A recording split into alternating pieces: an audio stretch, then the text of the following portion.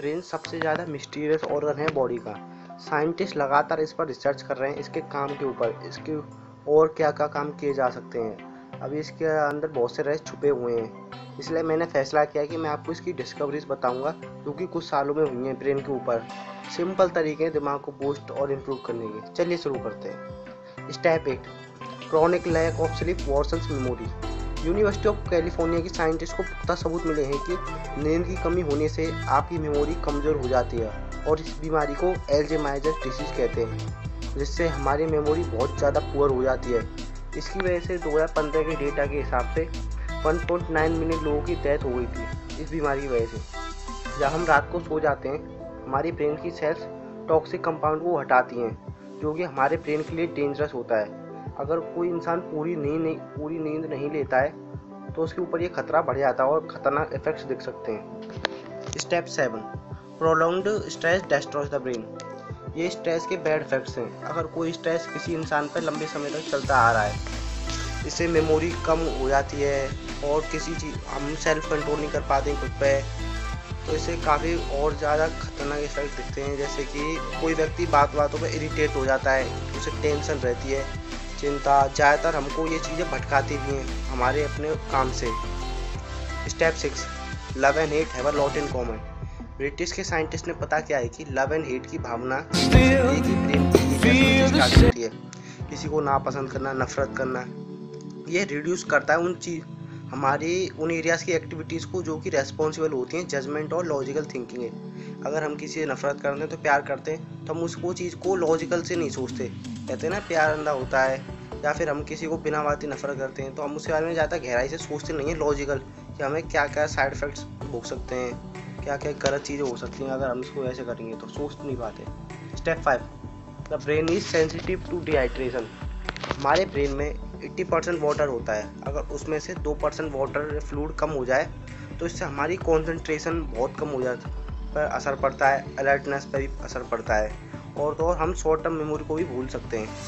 तो इसलिए पानी पीजिए लगातार water step four the abundance of sugar in a diet worsens memory and reduce the side ability to done ज़्यादा मात्रा में फ्रक्टोज को डाइट में लेने से ब्रेन स्लो डाउन हो जाता है और इस और रिड्यूस करता है सीखने की एबिलिटीज़ को। किसी जानकारी को याद रखना या फिर कॉन्सेंट्रेट करना।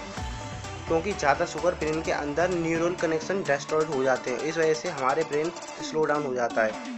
साइंटिस्ट ने इस चीज़ को ज़्यादा इंपॉर्टेंस दी है। जो इंडस्ट्रियल शुगर होती है, बहुत ज़्यादा हार्मफुल होती है। जैसे कि सॉफ्ट ड्रिंक्स में सॉसेस में बेबी फूड्स में, जो खाने वाली चीज़ों में होती है। स्टेप थ्री ये ड्यूक यूनिवर्सिटी मेडिकल सेंटर के Lawrence C Katz PhD professor ने न्यूरोबायोलॉजी के बारे में बताया न्यूरोबिक्स एक यूनिक सिस्टम है ब्रेन एक्सरसाइज का, जिसमें आप अपने फाइव फ़िज़िकल सेंसेस को इस्तेमाल करते हो और आप कुछ ऐसा करो कि आपको ही ना पता हो। जैसे कि, अच्छी बात तो यह है कि आप इसे कहीं भी, कहीं पर भी इस्तेमाल कर सकते हैं एनी टाइम एनी वेयर जैसे आप बाज़ार जा रहे हैं तो दूसरे रास्ते से जाइए या फिर अपनी आँखें बंद करके ड्रेस पहने, बंद आँखों से डोर को खोले, अपने अपोजिट हैंड से लिखना शुरू करें, या फिर अपने अपोजिट हैंड से व्हाट्सएप यूज़ करें। स्टडी से पता चला है कि स्मॉल चेंजेस से बहुत बड़ा परिवर्तन आ सकता है आपके अंदर। Step two painting improve the work of the brain एक स्टडी से पता चला है कि पेंटिंग और किसी काम में शांत करने से हमारा ब्रेन न्यूरोप्लास्टिसिटी बनाता है। इससे ब्रेन के अंदर अंदर कनेक्शंस बनते हैं और जो कि हमारे लिए बेनिफिशियल है। ब्रेन उतना ही पावरफुल वर्क करता है। अगर ब्रेन के अंदर न्यूरल कनेक्शंस कम हो जाएँगे तो ये बहुत दिक्कत वाली बात हो जाएगी। बहुत ज़्यादा असर पड़ता है इसका साइड में। साइंटिस्ट ने बताया कि 62 से 72 ईयर्स के लोगों पर इसका प्रभाव पड़ता है। कुछ लोगों ने आर्ट का कोर्स लिया और कुछ लोगों ने पेंटिंग का। पेंटिंग क्लासेस ने सबसे ज़्यादा स्ट्रॉन्ग रिज़ल्ट दिया in compare to art painting से हमारे न्यूरॉन्स बढ़ते हैं और वो एक ही नई रचना करते हैं। जैसे मशहूर पेंटिंग मोनालिसा की या फिर पिकासा या द लास्ट सपर हमारा ब्रेन पूरी तरह से कनेक्ट हो जाता है और फोकस इंक्रीज करता है। इसलिए पेंटिंग अच्छी चीज़ है। आप पेंटिंग करें। Step one reading trains the brain cognitive abilities को डेवलप करता है। पहले तो ये जान लेते हैं कॉग्निटिव एबिलिटीज़ होते क्या हैं। कॉग्निटिव मतलब आप वर्ल्ड को कैसे समझते हो, देखते हो, उस पर रिएक्ट करते हो। हमारे हमारे ब्रेन के अंदर स्किल्स होती हैं, जैसे कि हम कुछ सीखते हैं याद रखते हैं प्रॉब्लम सॉल्व करते हैं, किसी चीज़ पर अटेंशन देते हैं। ऑक्सफोर्ड के साइंटिस्ट ने प्रूव किया है कि रीडिंग की प्रोसेस से हम अपनी कॉग्निटिविलिटीज़ को ट्रेन कर सकते हैं। जब हम रीडिंग करते हैं, हमारा ब्लड ब्रेन के अंदर उन एरियाज़ में एंटर करता है जो कि रेस्पॉन्सिबल होते हैं कॉन्सेंट्रेशन और कॉग्निटिव के लिए। इसलिए लोग कहते हैं कि बुक्स रीड करो या फिर कुछ ऐसा काम करो जिसमें शांति हो। तो जिससे आपका ब्लड उन एरियाज़ में चला जाता है ब्रेन में और वो आपको अच्छा अच्छी बेनिफिट देते हैं। ये इफ़ेक्ट हमको टीवी देखते या कंप्यूटर गेम्स खेलते वक्त नहीं दिखता।